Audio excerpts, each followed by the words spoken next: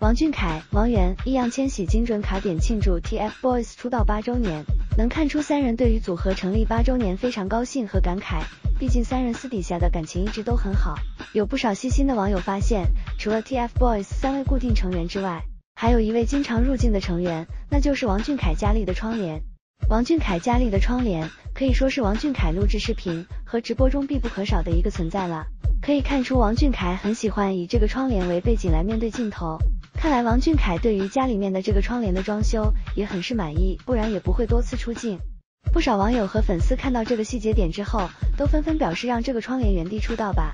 也有粉丝自黑到自己还不如一个窗帘。除此之外，还有很多粉丝纷纷表示想买同款窗帘。从王俊凯近几年的作品和工作重心可以看到，王俊凯对于影视方面还是比较看重的。无论是这几年王俊凯的影视作品和题材，还是王俊凯自身的演技，都得到了很大的进步和改变。而王俊凯也获得了越来越多的导演和制片的认可和肯定。